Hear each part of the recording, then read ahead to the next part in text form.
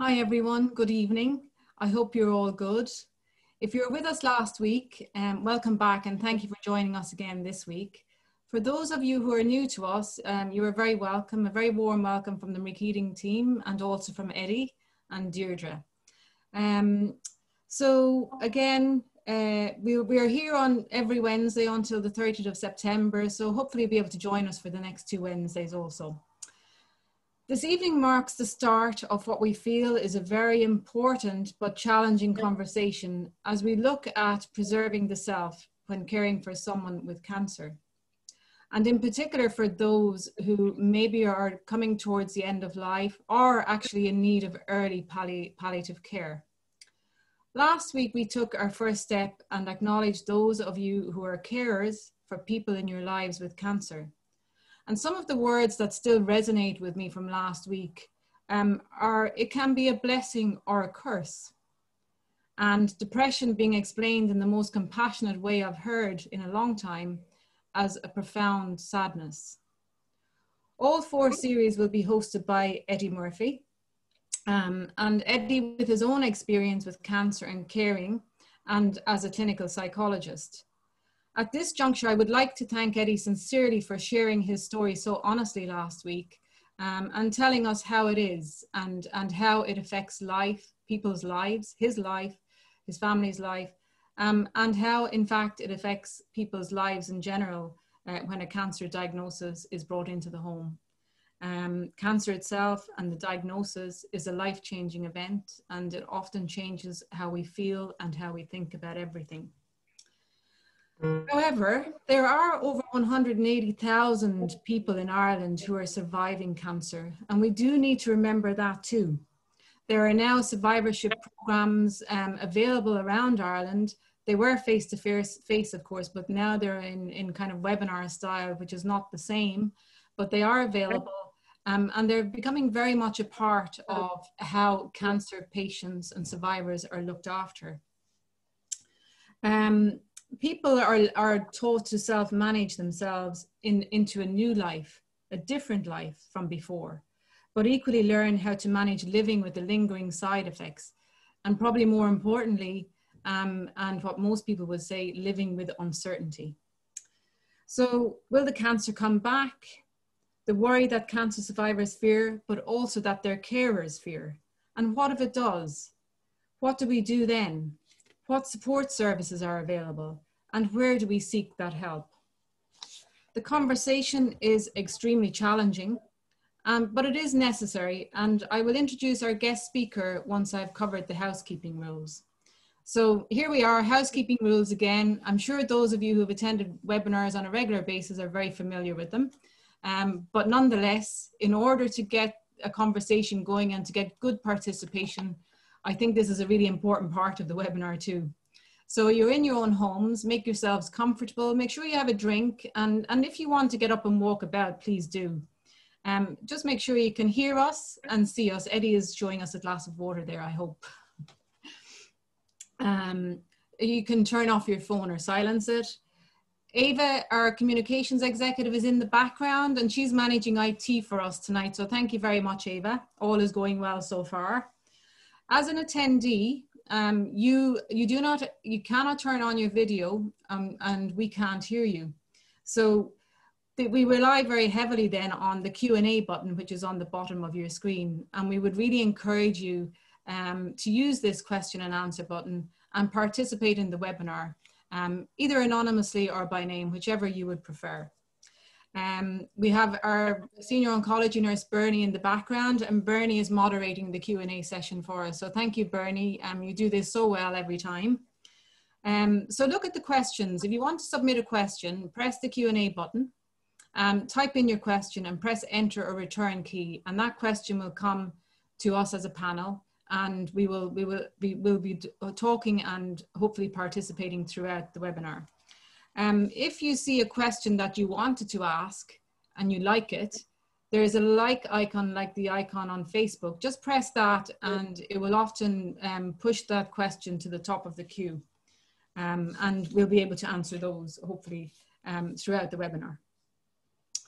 Um, okay, so uh, we do have a recording of this, but it is a private recording and it is only, it will only be available for those of you who have LinkedIn. And I think that's reasonable because again, um, you know, some of the content within the webinar is very personal um, and it is the lived experience, which is really important for the people who are um, participating.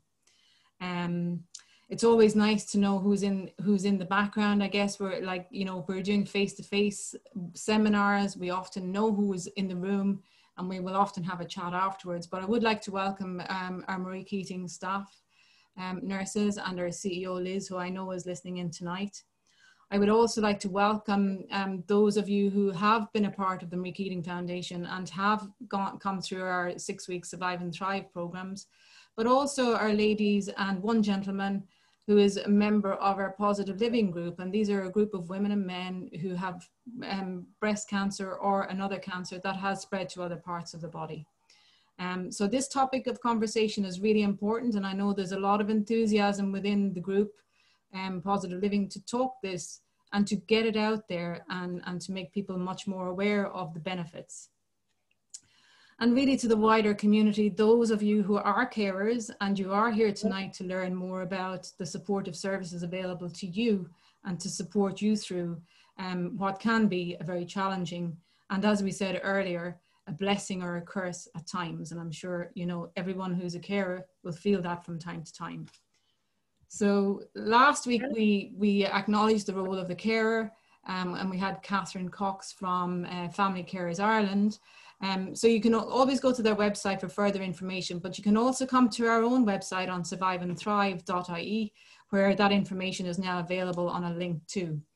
Um, and this week we have um, Eddie obviously talking about preserving the self, but I'd also like to welcome Deirdre Shanagher from the Irish Hospice Foundation. Um, Deirdre has dropped off there for a minute, but hopefully we'll see her back. And next week we're going to talk about compassion fatigue and building resilience and preventing burnout. And that will we'll have a guest speaker our own very nurse who is a carer herself but also works um, within the foundation. So again talking about different challenges um, when though when you know people have to go out to work as well and last the last week we'll talk about the importance of self-care and we have um, dr Sinead lynch who's a psychotherapist and she's going to do a little bit of mindfulness with us so give us some skills to take away um, that we can use uh, week on week thereafter um, so again, as I said last week, mo most people's lives have changed during COVID. Um, you know, but in time, the pandemic will pass. But in relation to cancer and being a carer, these questions often raise their ugly head. So recurrence, cancer is back, secondary, metastases, palliative care, pain, depression, disability, end of life, community care, hospice care, holistic, complementary therapy, relaxation, comfort, dignity, planned, thinking ahead, and quality. Now, what I've done here is I've mixed lots of words together, but also come out the other side feeling the comfort um, and the dignity in actually talking about and receiving um, early palliative care. So for those of you who are in the audience, sorry, just go back there for a minute, um, who are carers, some of these thoughts become reality, particularly for those who, who have had a family member or has a family member and their cancer has relapsed or come back. These are real fears and real feelings and real emotions. Um, and these emotions are experienced here. Um, um, it, it always comes back or maybe it never goes away the isolation, the uncertainty, the fear, and the anger at simply not being able to live out their lives the way they wished. So during COVID and with all of this, we're still protecting, um, we're still cocooning. Um, communication virtually has become more difficult. And we all know that face to face is probably the most powerful, and being in a room, um, the being with somebody is extremely important, and touch and a lot of those things aren't happening at the moment so we need to we need to um, acknowledge this we need to honor it and we need to talk about it so you will have met eddie last week those of you who are with us and eddie is a clinical psychologist um, and again as i said earlier has um, his own story to tell Um, he has a passion and enthusiasm about well-being um, and is anchored in evidence-based psychology. So Eddie, you're very welcome. I'm just going to introduce Deirdre now and then, and then I think we'll open up a little bit of a conversation around preserving the self. Um, so our topic of discussion tonight um, with Eddie and Deirdre and myself is preserving the self. Um, and again, um, I said this last week, but I, you know, I, I say it again. I think it's extremely important to for us all to have respect um, for everybody within the group. Um, everything that's said in this group is confidential. Um, and during this hour, we may share feelings and experiences just as they are. There are no right or wrong statements to make. They are your own feelings. Um, and the sharing that takes place is a gift for everyone um, in this room. And what you choose to share is really very much appreciated and can people can learn from it. So our guest speaker tonight is Deirdre. Um, and Deirdre um, is from the Irish Hospice Foundation, um, currently working there as the National Development Manager uh, in palliative care and end of life. Um, Deirdre is a registered nurse who has worked with older people as a nurse and a nurse manager and she has her degree in general nursing and she has a master's in gerontology and a European certificate in palliative dementia care um, since 2014. And her work at the Irish Hospice Foundation centres on advanced care planning, the palliative care for all, and primary palliative care programmes. So within the panel tonight, I'm happy to say that we have three very well experienced nurses to take us through. Um, so I'm going to stop sharing my screen now um, and Eddie, I'm going to bring you in there just to maybe say a few words yourself about preserving the self um, before we bring Deirdre in to talk about resources and supportive services. Um, and we know it's very challenging, so um, I'll leave it over to you there, Eddie. Thanks very much. Uh, so again, it's uh, uh, I want to thank the Marie Keating Foundation for asking me to host over the next, you know, four sessions on on, on carers. And for those uh, that came last week and this week, I want to thank you again. I want to imagine that we're, you know, that we're going to put a, uh, we're going to put a sense of self around ourselves, in that this is a, preserved time where we can have this conversation uh, and we can start focusing on our needs as carers. Uh, just for, for those that didn't didn't make last week, um, like my wife, I have permission. She she has a cancer diagnosis and uh, I have a young family, 12 and 10, and, and we're living with cancer in our house. As I say, we're flying on a wing and a half. That's the way I often uh, describe when people ask. But I'm going to be talking, uh, they're just going to talk a little bit about very important thing around the whole area of palliative care. And as a psychologist, and um, often we're often challenged around stigma, stigma around mental health, and when people don't talk about certain things, there's stigma too around cancer. We know that as well, and uh, so we're in a stigma busting mode tonight, and to do stigma busting and to have honest conversations and real conversations. It can also raise an anxiety in us because we're sort of going it's almost like sometimes we talk a little bit about taboo subjects or we get into a, a, a deeper area but we're doing this in a very safe way, in a very supported way, in a very um, in, in, in a space where we we we're. I want you to to express through typing maybe some fears that you might have. Certainly, opportunity to ask really good questions without being judged. Um, and you have the anonymous function there. So this is a time I often see this in uh, where there's the beauty of the therapy room is you're working with an individual and quite often they ask you their most deepest fear questions.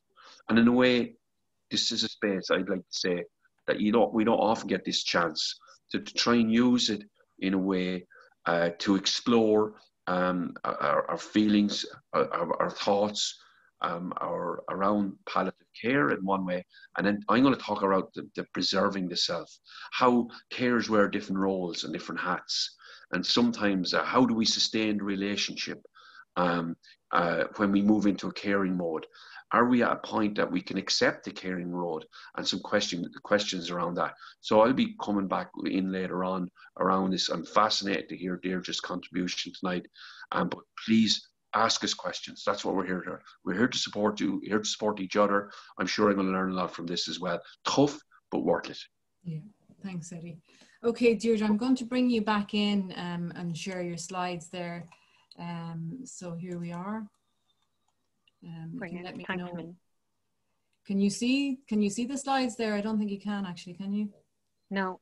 No. Okay, just bear with me another moment. So, um, I'll just try that again. Sure. Okay, we're on now. Brilliant. So, um, okay, there you are, Deirdre. Um, you can just let me know when you need to uh, need to move on. Okay, brilliant. Thanks a million, Helen. And I'd like to really thank the Marie Keating Foundation for the invitation to speak with you all tonight. Um, like Helen said, I work with the Irish Hospice Foundation. Um, just to tell you a little bit about who we are, we're a national charity our vision is that no one will face death or bereavement without the care and support they need. And our mission, mission is to strive for the best end of life and bereavement care for everyone. On the next slide, then, this is just how we organise ourselves. We're in four, um, four, we work in four teams in the organisation. We have a bereavement team, education and research, advocacy and public engagement, and healthcare. So I work in the healthcare team and a little bit with the advocacy and public engagement team. So that's just a small bit about who we are and where I'm coming from. On the next slide, though, I think, um, like Eddie said there in, in the introduction, talking about preservation, I'm going to talk about palliative care and what palliative care is, um, and hopefully make clear a little bit more about what it's not.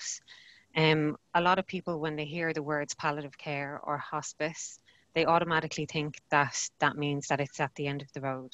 I'm, it must mean that we're dying.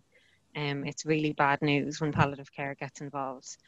However, that's not always the case. Um, as people are diagnosed um, with cancer and other life limiting illnesses, we know now that people are living longer and they can live really well with, um, with cancer in particular. Um, and palliative care can be accessed really early on in the journey with cancer and it can be accessed at loads of different points. So you can call on the palliative care team to come in and out if there's problems managing symptoms. And then a lot of the time, they become a lot more involved as someone is approaching the end of life. Um, so when we look at what palliative care is, it's holistic care. The focus is on relieving pain and other symptoms. So the other symptoms include constipation, breathlessness, and just some symptoms that are, can be a little bit more difficult to manage. Um, it can be accessed regardless of age, what your diagnosis is, and what stage of illness is. So, like I said, you can access palliative care quite early on in a diagnosis. Um, and then you may not need to hear anything about palliative care for a very long time after that. Um, so, you can access it really early on. The idea of palliative care is that it aims to improve the quality of life of people and their families. So, it's not just available to the person with cancer, it's available as a support. Um, so it's there to help family carers and those around the person who has cancer as well. Um, like I was saying, palliative care is often offered alongside other treatment. So you could be getting chemo, um, even if you've got infections, you can be getting antibiotics all the way along. And then you might just have some symptoms that are a little bit more difficult to manage, like breathlessness or like constipation or like pain that's just a little bit trickier to manage. And the palliative care team can come in and offer support around those things. Deirdre, just um, I just wanted to add there that during Carol's treatment in the early phases, that the uh, the palliative care team were brought in to around symptom management, and uh, again, no, because of my own nursing background, I'm aware that the, the, the palliative care offers so much added value in this quality life piece in terms of uh, symptom management that they were able to support the treating consultants in the treatment and then they were able to exit out of our care but made a very significant contribution in that early part of the care just brilliant part, yeah. of our, part of our story you know mm. it's great and it's great to hear that because when you're you're hearing these things it's it's great to put the context on it um, and and really i suppose explain the value of having access to palliative care that early on and the positive contribution that it can have. Um, the most important thing on this slide really is the very last point that's in bold writing. Receiving palliative care doesn't necessarily mean you are dying. Um, I said it at the beginning, but a lot of people, when they hear palliative care or they hear hospice, they think, gosh, that must be it. And that's not the case. Um, and I think if you take nothing else away from this evening, it's that. Um, if you hear the words palliative care, don't panic. Um, on the next slide, brand, then. Do you think we should rebrand palliative care? Oh, God. it's, really, it's like it's really about the focus on enhancing the, the ma- maximizing person's quality of life. Really, yeah. you know. Absolutely, so. yeah. I have a slide later on uh, from Dame Cicely Saunders, who's the the founder of the modern hospice movement, and she talks about living until the end. And it mm. really is about living, it's not about dying. Mm-hmm. So it's actually quite the opposite of what people think it is. Um, so you're onto something by saying that, you know, we should look at calling it something else. But then then what is that? What what do you what do you call that? And I think it's a deeper understanding, isn't it, of what whatever it's called, what is it? Because another, you know, another term might might you might start off again with, with a misunderstanding. So exactly. the understanding has to be very very clear. Yeah. Um, so just on this slide then I have I've just put up a question about who provides palliative care. So within Ireland palliative care all healthcare professionals have a basic level of training in terms of palliative care so all doctors and nurses and healthcare professionals that you come into contact with have a certain amount of palliative care that they're able to um, deliver. Sometimes, like I said, um, if you've got symptoms that are a bit more difficult to control, the specialized teams come in and so that's where the words palliative care are often introduced when the specialized doctors come in um, and they they can be called in at any time to provide advice um, about treatment options and guidance and care and support with decision making. So, one of the important things that they do is um, introduce the concept of advanced care planning um, and getting people to think about things well in advance rather than as people are deteriorating and coming to the end of life. And they help prevent that crisis management or crisis decision making. I'd, be I'd be interested in our participants tonight, maybe you know, draw what would advanced care planning, what is it? Just maybe helpful. Maybe you're going to do this later on, but I just think some questions like what is advanced care planning? What does that look like? What does that feel like? Because I think it's critically important in care, you know. Yeah. I haven't got specific slides on it, but I can talk well, loads about it. Just conversation, yeah. Yeah. Um, so on the next slide, then um, the slides really just focus on palliative care, and then we can tease out the advanced care planning bit because a lot of things around advanced care planning are around having the conversation, mm. um, and um, and and that's what causes the most anxiety for a lot of people. Um, in terms of accessing palliative care, then and how much it costs, um, anyone can access palliative care in Ireland. Um, I know from my own job that not everybody experiences that ease in accessing palliative care, but it is available to everybody in the country. Sometimes you have to ask first, unfortunately. Um, but it is available all across the country and it is free in Ireland. Um, sometimes if you've got medical. There is a geographical, like, you know, maybe in the urban centres, at the, you know, the specialist palliative care teams, but maybe more in the rural areas there's not necessarily full, fully um, filled teams. Is that correct? Yeah. Well, there's community palliative care teams that operate all across the country. So palliative care teams operate from different places, from either acute hospitals or hospices across the country. Not all parts of the country have access to an inpatient hospice unit. Um, most significantly, the biggest gap in the country at the moment is in the Midlands um, where they don't have access to. That's to why I'm saying that, you know, just because yeah. you know it's important. Um, yeah.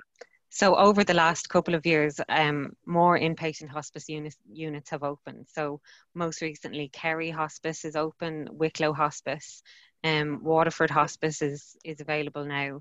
Um, but the biggest kind of black spot area in terms of an inpatient hospice is the Midlands. Mm-hmm. But in saying that, there's a really active community palliative care team in in the Midlands, um, and and so even if you are in in any of those counties, you can access palliative care um, wherever you are. So um, you can your GP can do it, or you, they come out from from the hospice as well.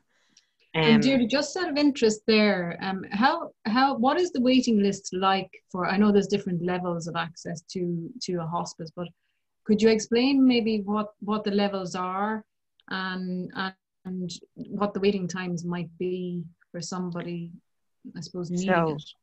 In terms of waiting times, it's really variable. It, it it really depends. So there's no actual data in terms of waiting times. Okay. Um, in terms I'm of, sort of shocked. Is there waiting time for palliative care? Like, I mean, it just no for the I mean, for a hospice in, bed or inpatient palliative care.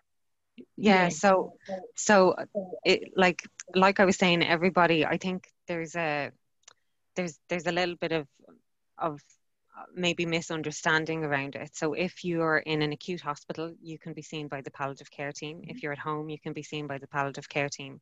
But you may not necessarily have access to a hospice bed. And I think that's what you're getting at, Helen, is it? Yeah, well, I'm thinking for um, those who need it, yeah. Yeah, so mm. Um yeah so like unfortunately people would ring me all of the time asking how to access palliative care mm. and there isn't a hospice bed available for everybody even if people want it, but there is palliative care available. So the, the community teams can go and see somebody at home, or the, they, the palliative care teams can see somebody in hospital as well. Yeah. Um. So that's that. I suppose in terms of the cost of it, then, like I said there, it's free if you've got health insurance. Um, the insurer might be asked to contribute towards the cost of palliative care. Um, on the next slides, then I think this is this kind of answers or draws in a little bit of what what I was saying in terms of do you needing do you need to be in a hospice to access palliative care and the simple answer to that is no um, palliative care is available in all settings. Um, so like I said it's available in hospitals residential centres and nursing homes. And I think it's important to reiterate the fact that all health and social care professionals so all doctors and nurses you come into contact with have a a basic level of palliative care that they're able to to deliver. Um, a lot of the time, I take calls from lots of members of the public, and a lot of people who are at home always kind of ring and ask how to access palliative care. A lot of people don't know how to get it. They see it as this wonderful thing that's up there in as uh, as something that's on a pedestal, and it's not. It's really difficult to get. But if you're at home, the community palliative care teams can see you at home. Um, so it's up to your GP. So if you're if you're at home, the GP is the most senior medical person who's responsible for your care, and he or she can send a referral to the community palliative care team, and the community palliative care team can then come and see you in your home, um, and. Okay, I think we've lost Deirdre there for a minute. Um, so, I mean, I probably know what Deirdre is going to say there. Palliative care teams working under the GP practice or in acute hospitals can actually come into your own homes um, and do full assessments and do regular visits if needed and required um, to see people in their own homes and manage their symptoms and keep them keep them well and even offer things like complementary therapies at times too. So you've got the whole well-being and the holistic approach to care, which is absolutely fantastic. If anybody can experience that.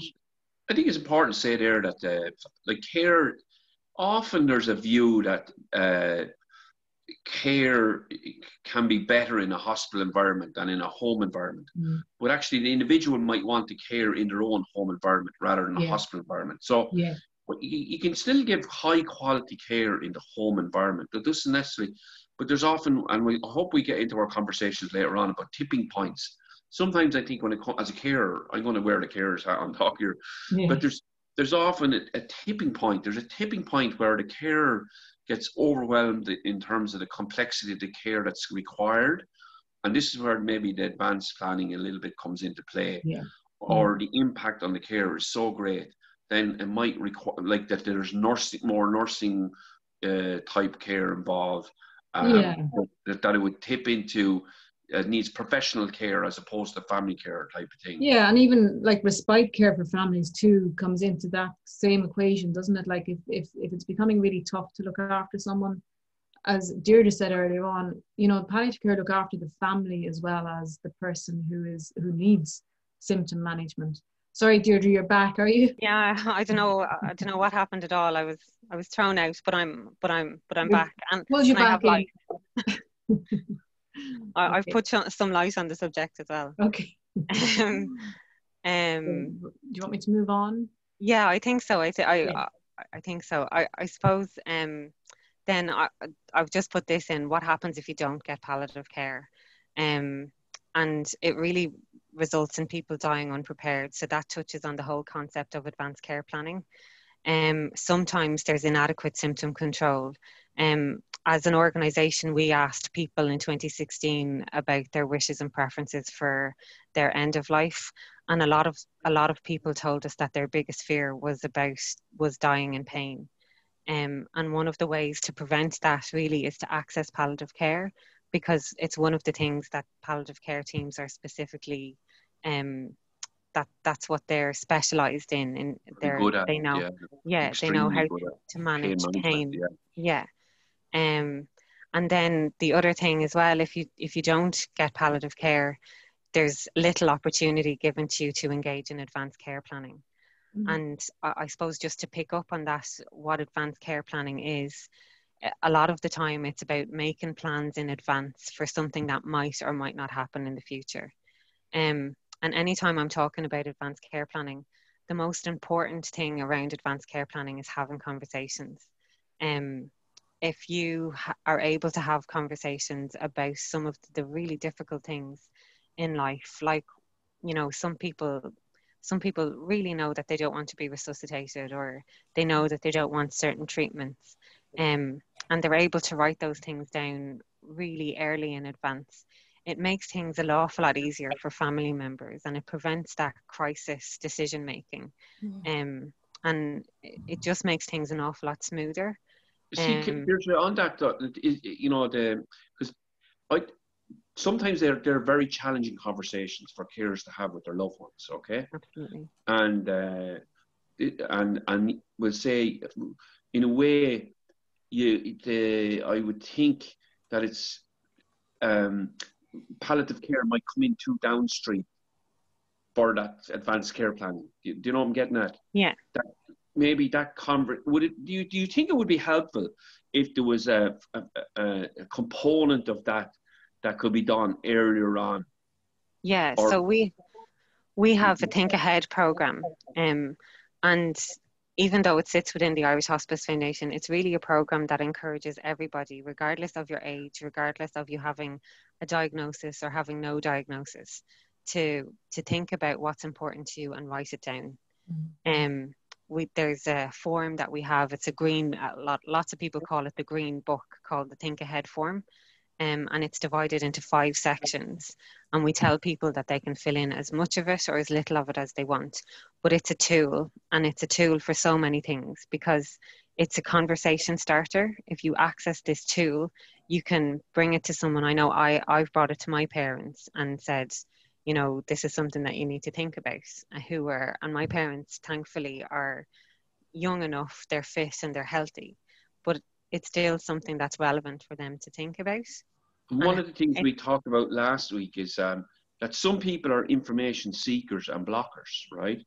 Mm-hmm. And uh, um, uh, and there's different communication styles. Like I, I couldn't imagine in that because uh, Carol was uh, my wife was a, an information blocker, right? So it'd be very. It's like it's it, it, it would take an extra step to have advanced care planning, as it were, even with my nursing hat on, to, uh, to have those conversations yeah. in, in, a person who doesn't want to have these conversations. Yeah. Um, yeah. So it, it's quite challenging. Have you? How have you managed that in from a hospice hat on? Well, there's a, there's a few different ways of looking at that. The thing about advanced care planning is some people, like you said, some people want to go there and some people don't want to go there. And it's not compulsory. Mm. So as a healthcare professional, though, it's up to us to constantly give people opportunities. So a lot of the time, it's about picking up on cues that people will give you. Because some people might come across as being, oh gosh, I don't want to talk about that. But they might say things like, I don't think I'm getting any better. or I think I'm getting a little bit worse, or um, I'm a little bit worried about my money, or I'm a little bit worried about, you know, some somebody else I met got this kind of treatment. And I know initially for me when I was a nurse first, it was it's very easy to knock or to block those conversations and say, "Oh gosh, no, not at all. Like that's not going to happen to you." But if you mm. actually pause for a second and te- try and tease it out with people, so it's about being brave enough to have conversations that matter. That's it, really. In, in a way, it's a couple of things. The person can be very. Uh, what holds them back is fear about having an open conversation. Mm-hmm. But also, what holds other people back, whether it's the carer or the professional, is that they don't necessarily have the confidence to to get over their own fear. There's fear on both sides working. Absolutely, here. yeah. And fear can drive people back into non non communication. Yeah. And I suppose tonight we're here, and again, there's some really fabulous questions have come through. So please get some questions coming through, you know, and and, and use the, the great wisdom and of, of uh, Deirdre there, please. Um, Deirdre, I'd like to add something there as well because having been an oncology nurse most of my life, um, you know, you often you, there are opportunities. There are so many opportunities to have these conversations, and it's often a, like when maybe you know there's a decision to to add another treatment or, um, and you know the person is already kind of tied to a hospital bed, um, and the conversation can actually you can slip in a conversation so much easier when you know they're questioning will this work or not? And you think well you know what what is it you need and want for your life right now? Um, and how how can you plan that um, so that that can be a conversation when treatment changes or treatment is not working and there is an opportunity there's a real opportunity there and the other thing I would like to mention is, you know, these forms, like again, hospices are terrifying places for some people. They don't want to go there. They don't want to, you know, have that conversation. But these forms can be picked up um, in Citizens Advice Bureau with medical social workers as well. Um, and it, that can be the beginning of, you know, a conversation leading into palliative care and hospice care. And I think it's a nice, it's, it's another way of thinking about how this process can happen where there is some uh, a block towards maybe hospice care you know so yeah. it's, it's just another and having something if you're a family carer and you're afraid to have the conversation having something like the booklet or having mm-hmm. a tool to help you open the conversation is often the hardest part yeah. because a lot of people i've done work with a lot of people around advanced care planning and a lot of people like eddie you said there's this massive fear. I'm afraid of upsetting somebody. Um, I'm afraid of getting upset. I don't want to know those things, or that'll never happen. There's a massive amount of denial around this. And a lot of people will, and a lot of people get lots of anxiety around that then. But if they have something physical to say, you know, this is a good idea, or I've seen this, um, and what we say to people about the Think Ahead form is that they can fill in as much of it or as little of it as they want they don't have to fill in any of it. It's not compulsory at all. Mm. But the most important part is about having those conversations, having really meaningful conversations, and not yeah. being afraid. What's interesting is that the denial, the people who deny in, are in denial. That's actually a coping mechanism in, of itself. Um, it might be the word, may the well, it's arguable because I think I remember I talked about people who there's absolute deniers that go through the whole journey in that denial mode. And the outcomes are the same for the deniers as it is for those that are the real positive optimists and go getters. It's people who are anxious that struggle quite often more in terms of their quality of life and uh, outcomes. Um, that's from sort of psychology bit of it, um, it, it, it, you know. So I I think it's challenging having the conversations, and uh, uh, I'm I'm not sure I think if it comes from a professional space, mm-hmm. if as well as the I think it shouldn't only be from the care space, because I think the care quite often knows the other individual best, and if they don't want to talk about it, yeah. Uh, whereas with the the privacy of maybe uh, uh like the value of the, doing uh, counselling or healthcare or public health nurse or someone like that, then in that space quite often that can be that can be a very powerful place where that that conversation can happen. Yeah. But I because think it, there's there's a bit about breaking down, like as a society, as a people, as Irish people, we're not yeah. great at having these conversations. No, we're, we're not. We're massive deniers of death and dying. We're brilliant at funerals, but yeah. we're not good at the, the bit before that.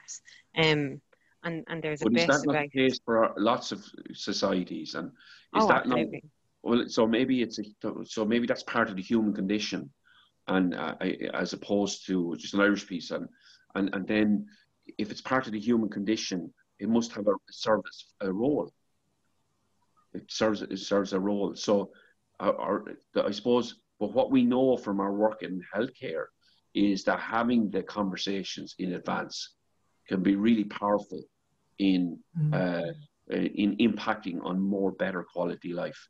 And that's yeah. the key takeaway. I suppose I'm just saying it mightn't necessarily be the carer doing it with their loved one. Yeah. It could be that as a healthcare professional might do it with the loved one. And I think like down down the line there's there's new legislation that's that's coming about and I think there's there's going to naturally be um, a whole load of awareness raising around making decisions for yourself mm. um, and making um, advanced healthcare directives in particular. Um, people know them as living wills, but there's there's legislation that will support that, and there's a new office that will, over the next couple of years, be engaging in awareness raising campaigns about the importance of planning ahead. And if you look at countries where this is much more the norm than it is here. The, the, the biggest one being America. More people are inclined to engage in advanced care planning and not be afraid of it when they know what it is and they know more about it. So there's there's a there's nearly like a layered there, there's a whole layer of of things that are, are needed to to help people understand what it is and understand the importance of it mm. and the relevance of, of, it. Lots of important. And you said there's an office there. Can you tell us a bit about that? So the Decision Support Service is a new office that's been set up under it's the legislation is called the Assisted Decision Making Capacity Act. Um, mm. so it's a new a new a new office called the Decision Support Service.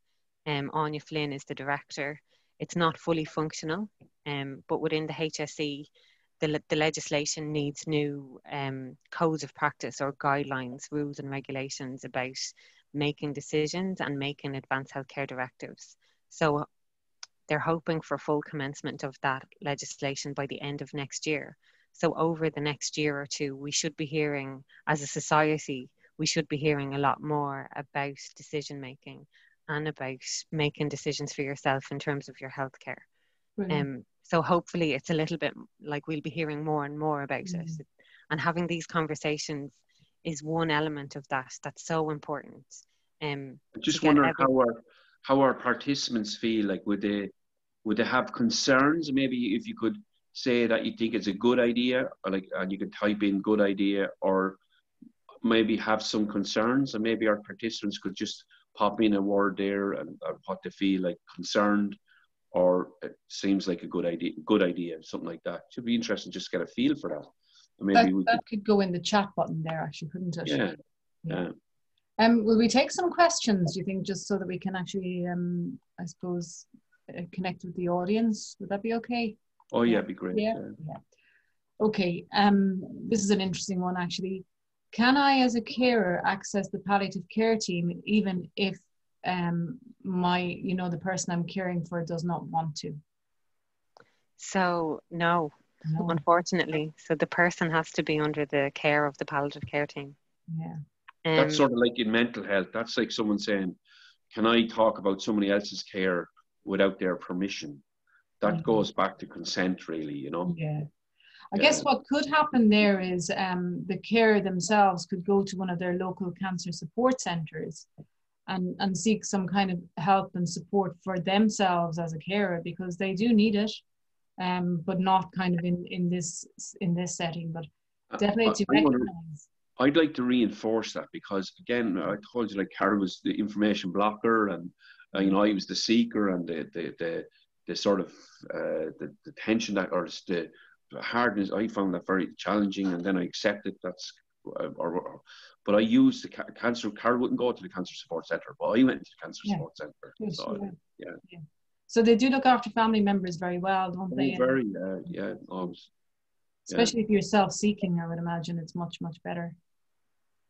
Yeah, well, you know, and uh, it was intermittent. Uh, I, I, probably attended maybe six or eight sessions, and uh, and it, I did it actually. It was to me it was a massage actually that mm. they offered a, a therapeutic massage. Yeah. So because uh, I carry the stress in a very physical way in my shoulders and back and stuff like that. So uh, I found, and then just the whole environment, just knowing, uh, knowing, uh, and I'll talk about this later on, a bit around the preserving the self, and uh, you know, a little bit more. Okay. Yeah. It's some great questions. Um, do the palliative care team offer night nursing services? So, night nursing is available through the Irish Cancer Society and the Irish Hospice Foundation. So, it's not um, available through the HSE.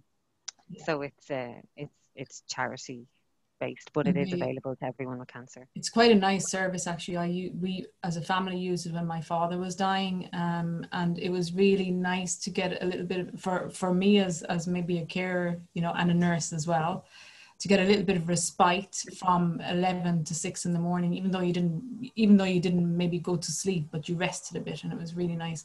And the other more really important thing there, I think, is they looked after the whole family because I had brothers who couldn't cope um, and weren't coping very well at all. And they would take them aside and, and talk to them about, you know, their fears. And, and that was really nice. It was like a, a huge weight lifted um, from myself and maybe my mum as well at, the, at that time. Incredible. Like they were involved in my brother-in-law when he passed away with a brain tumor, and uh, a number of years ago they do incredible work. I know they come in at that very late stage, but they're fabulous clinicians, great nurses, so they are. Yeah. Okay, um, you probably you you certainly touched on this, Deirdre, and I think Eddie and yourself had a conversation about this. Is there community palliative care all over the country, or do you have to be near a centre? So you've certainly touched on that. Yeah, so community palliative care is available all over the country. You don't have to be near a hospice and inpatient unit. Yeah. And um, so if you're to access this, the best way is to get to your GP and ask yeah. your GP to to send the referral. Yeah. What's um, the what's the dynamic there? Is there like just is is is there more a push for care at home? Are we are we creating centres of excellence again and pushing people back into institu- institutional care? Where where is that? Well, uh, if you if you're to look at healthcare policies, Care would say that the push is is for home care. I think um, any of the, I suppose, noise or rumblings from the Department of Health at the moment is is supporting that push towards community care. I think the there's a lot of the difficulty is that acute services cost so much money and they take up they take up so much of the budget. So it'll be interesting to see how Sláinte Care is funded. But you can only imagine that like the ideal care for somebody in end of life is home most people in Ireland say that they want to die at home. Yeah. Yeah. Um, the only, I suppose, the only thing about that is it's also important to recognise that that's not always possible. So even if people want to die at home, sometimes the best place for them to actually die is in hospital. Um, and that's not a bad thing either. I think you know there's a little bit of, you know, you need to understand the nuances of of somebody dying at home again, to go back to the survey we did in 2016, most people said that they wanted to die at home, but they wanted to have an ICU in the kitchen. Um, right. So there's a little bit of, you yeah. know, you need to understand what's, you know, what's practical and what's available to you in the community. And sometimes, sometimes the best place to die is actually a hospital. And it's not a failing if somebody yeah. wants to die at home and as a carer, you've done your best to do that and they have to go to hospital because their symptoms just can't be managed. So okay. there's there's lots of um, there's there's lots of different nuances around. I, I think even that is another conversation in itself, Deirdre and Eddie, you know, where where people feel they fail when they you know have to bring their loved one to hospital.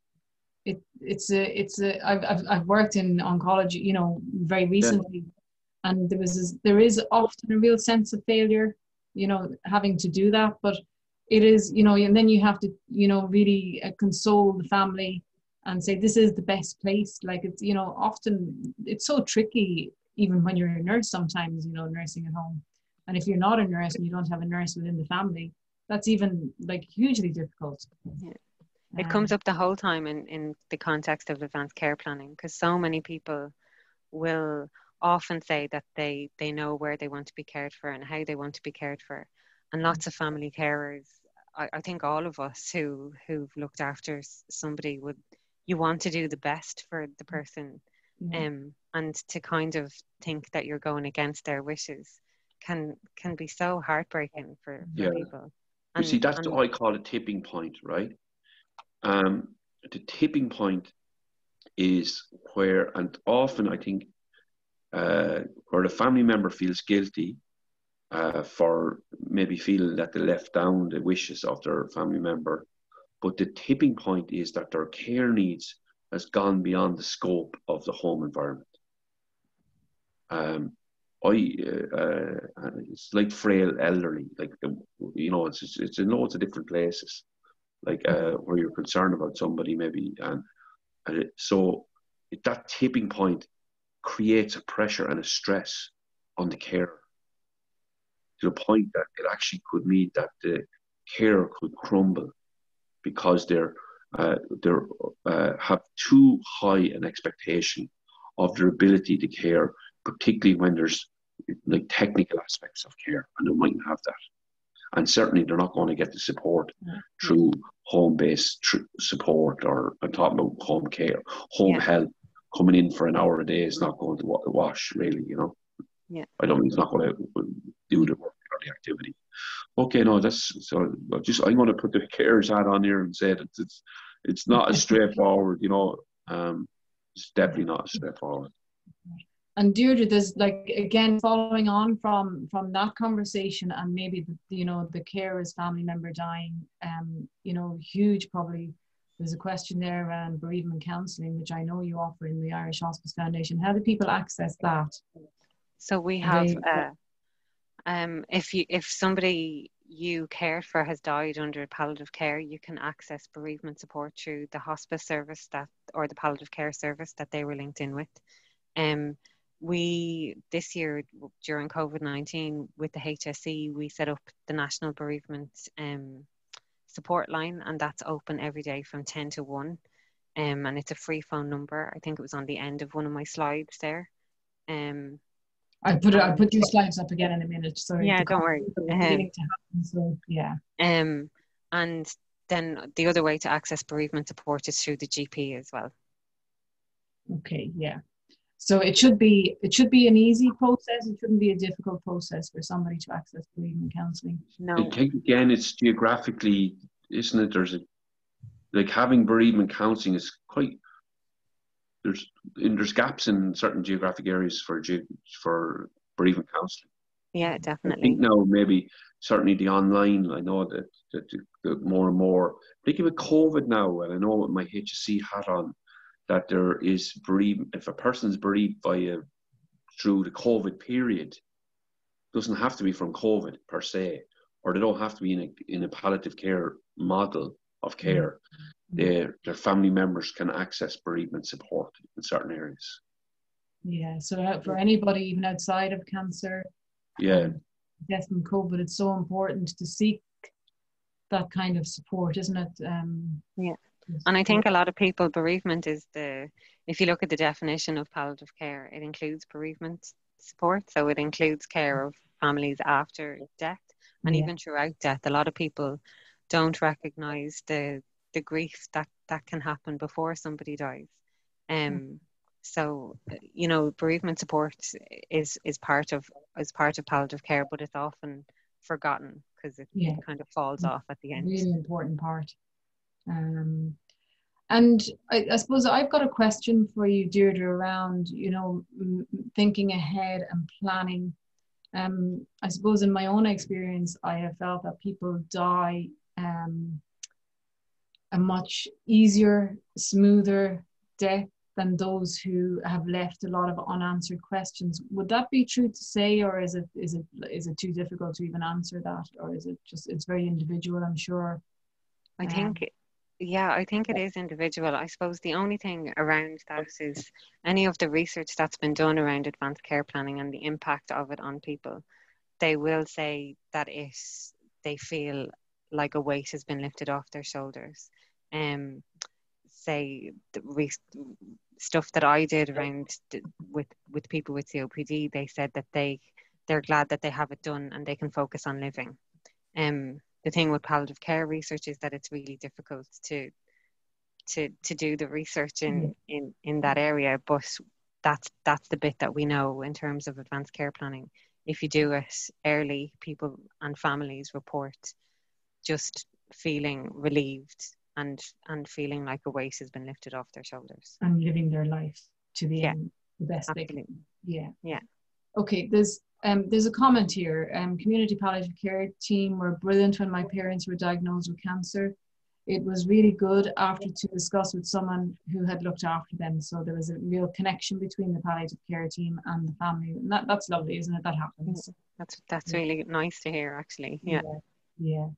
Um, so we've five minutes left. Eddie, do you want to say a couple of words to to round off preserving the self in this whole difficult kind of challenging conversation that we've had?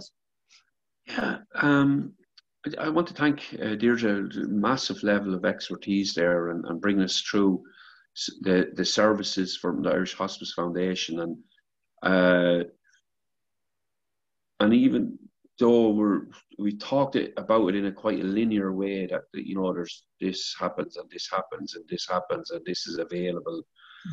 Sometimes there's half steps and missteps and human nature comes into play.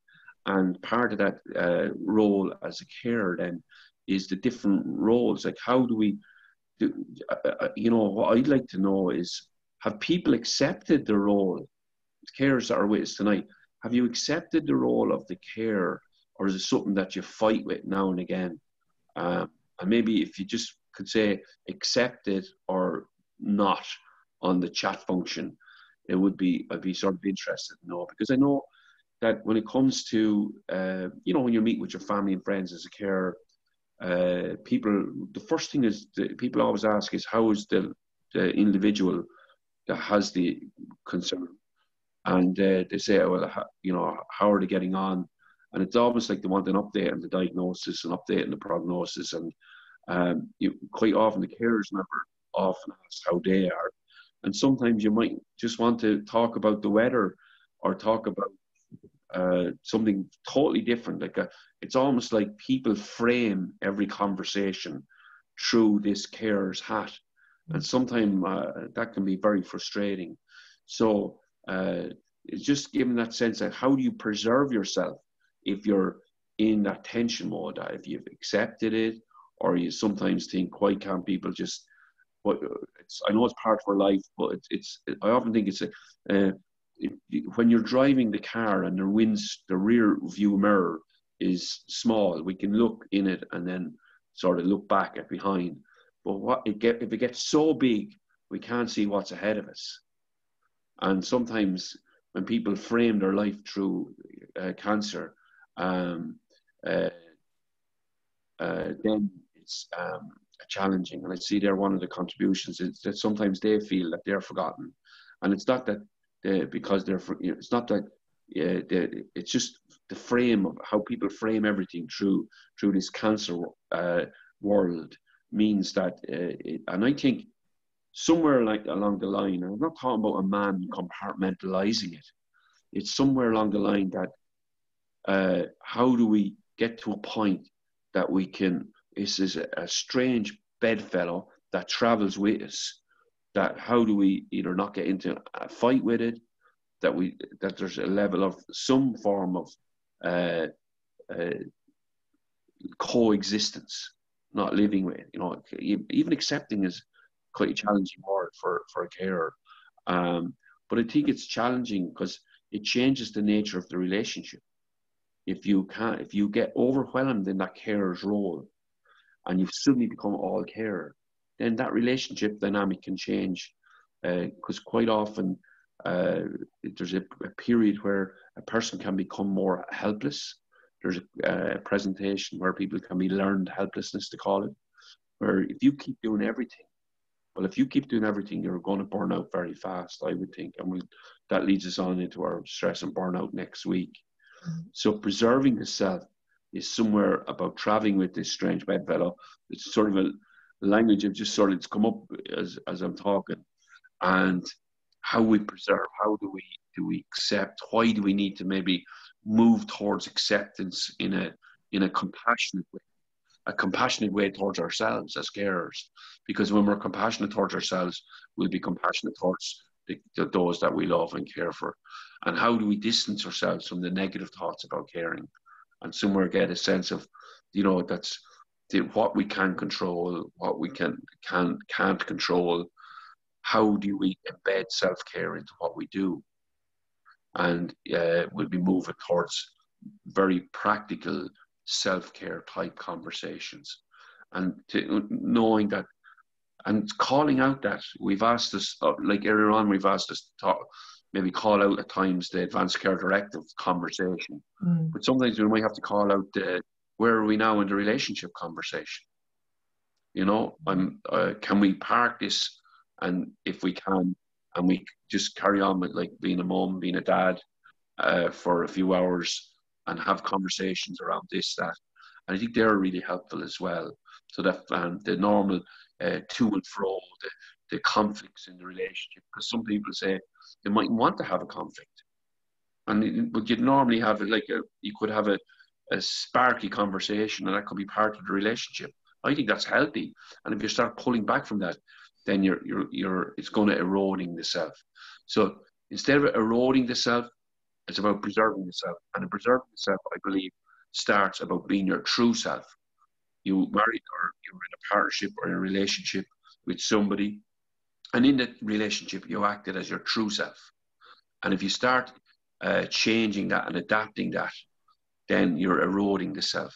Maintaining that truth between you, the good, the bad, the strain, the fun, the love, the crack, the worry, the share, then you're moving into that space I think, of um, that honesty, and it's more helpful in terms of preserving the self.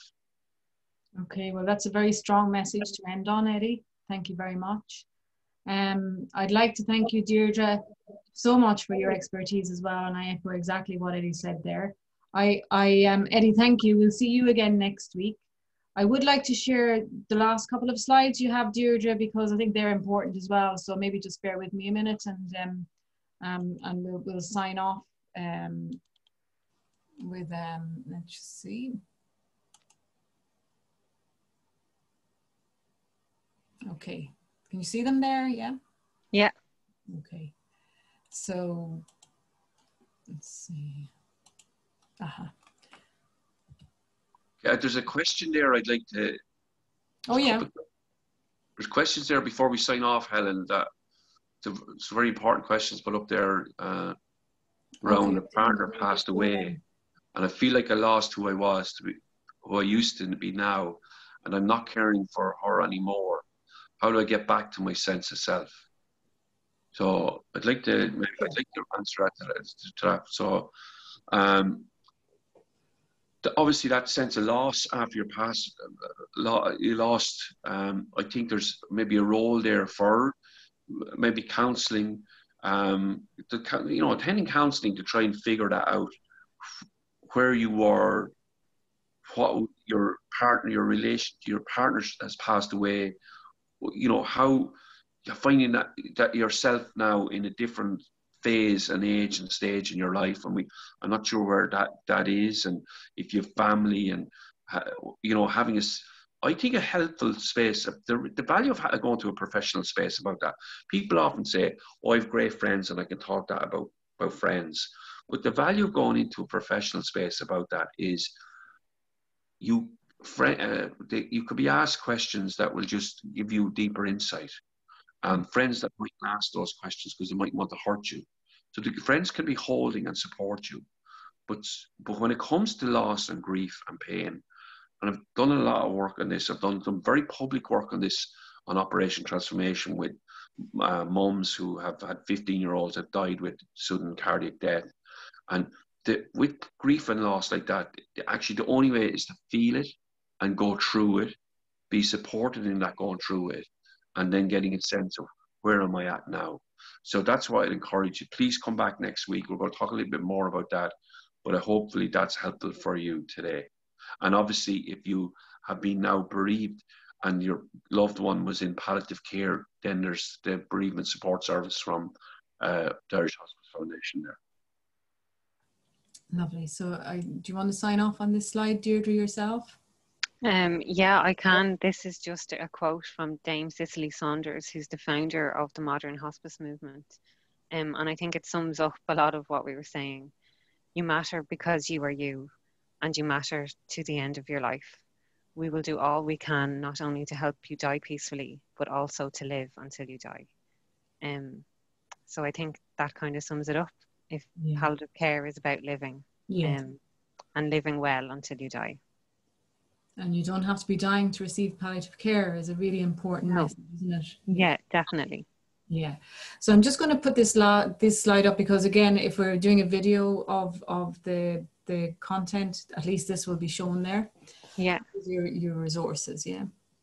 And the bereavement support line is there on on that slide as well, and it's open from ten to one Monday to Friday. If anybody wants Sorry, to Helen, give, there's another question that come through there. Can we yeah, sorry, I, did, I didn't see them. They, they hadn't come through on my list. Uh, okay, yeah, no, so I'm, yeah. I'm looking at them here. Yeah. So another one says, any advice and tips after the palliative care nurse has triggered a family division? Being very intimidating towards the patients, no offer of any help or service to the family of what palliative care can offer. That's a very difficult situation. Sorry, so I just think it's important that we yeah, we, okay. we talk about difficult situations. So we, we will we'll take all these questions, like because I think they're very valued. Yeah. Valued. So, um, any advice after the palliative care nurse trigger a family division? So, being very intimidating towards the patients. No, so obviously, if their professional care was um, intimidating, uh, that would be of, of concern. Mm-hmm. And I think there's, uh, uh, you know, whoever comes into your home or house, uh, works within a management structure and it would be worth uh, feeding that back. Um, uh, I'm sorry that you've had that experience. Um, uh, uh no offer of any help or services to the family of what palliative care.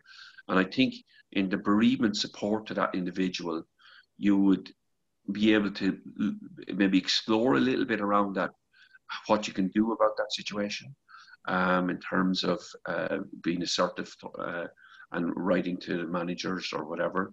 Uh, or alternatively, you can explore the impact of that family division on you. It sounds quite a painful experience and uh, how that, that has impacted on you. Okay. Is there any other any other questions there, Eddie, that I, I have missed?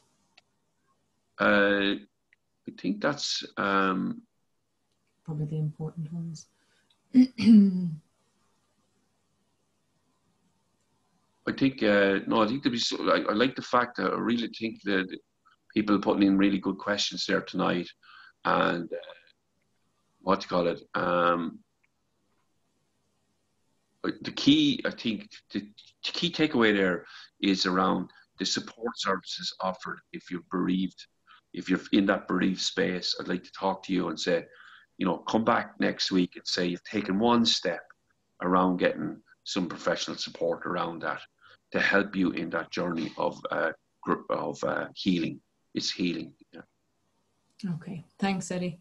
So I'm just going to move on to a couple of slides. So that's Deirdre's um, email address there. If anybody wants to wants to email into the Hospice Foundation, um, just give you a minute to maybe take that down. Shanagher at hospicefoundation.ie. So thank you, Deirdre, for your huge contribution tonight. Um, we've done our Q&A. Um, and again, I, I, put this slide up because like there's a whole um, array of, um, you know, um, sort of issues around quality of life, like the physical health, mental health, social health, satisfaction and beliefs. And then ancillary to that is the environment. So you know, um, trying to make um, good a good life um, can be difficult, um, and we need to encompass all of these aspects of life in order to to feel the well-being um, that we so wish for, I think, when, when it comes towards that, that end of life. Or even at the beginning of a cancer diagnosis, looking at these things and making them better through probably early um, referral to palliation in most of those cases. So it's a very holistic approach to um, quality of life. And Eddie, you talked about steps there, um, and you know maybe sometimes when we're at the bottom of that step and we're not feeling so good and we're feeling vulnerable, you just can't do it. But it is a step-by-step approach. You might want to do it, and then you might actually get to a point. Well, I do want to do this. How do I do it? And I'll try it, and then you might turn around and say you did it. So it's really important. Steps to success. It's a slow process, and it can happen um, and we talked about this, Abraham Lincoln. He said, in the end, it's not the years in your life that count, it's the life in your years. And that's all about the quality and how you live your life, isn't it? Um, and we've certainly brought that home tonight. Um, and I think I, I said this last week too, but I think a person caring for another represents life's greatest value. And again, we've had a very difficult conversation tonight. And as carers, you really have the greatest value and you need to take that away with you tonight um, there you know um, and the other thing i would say if anybody has any difficulty with anything we've said tonight we do we, we have eddie on board we have deirdre's email and you can also ring into our office or, or, or email in to our ask the nurse service and we will answer your questions or any concerns that you might have over the next couple of days um, so um, and that's where we are. We do have um, lots of resources as well around particular types of cancer, and within those books, there's there's a huge amount of kind of signposting and direction to like a lot of the service we've talked about tonight, and thinking ahead and planning for end of life. So all those conversations happen within those booklets as well. And if you wanted one, you maybe ring into the office on 01628 3726 and we can post one out to you. And, and they're very valuable to have, even as a resource, not necessarily to read from cover to cover. And finally, um, we will welcome uh, Phil, our lovely nurse from the West, Phil Keating, not a, not a relative of the Keating family, as we always say, but Phil has worked with the foundation for many, many years. And Phil is a carer and has lost her mom and her dad through cancer and is now caring for her brother. So Phil has a lot to offer in terms of, you know, recognizing compassion fatigue, building resilience and preventing burnout. Um, and we'll welcome Phil along um, with Eddie next week, um, 7.30 to 8.30 again. So on that note, I think um, COVID is still here. Um, restrictions are increasing again, particularly in the Dublin area.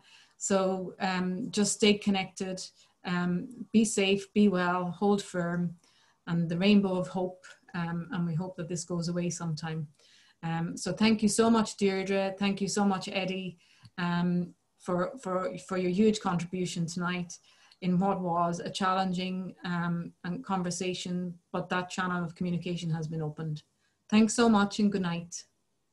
Thank you. Thank you very much.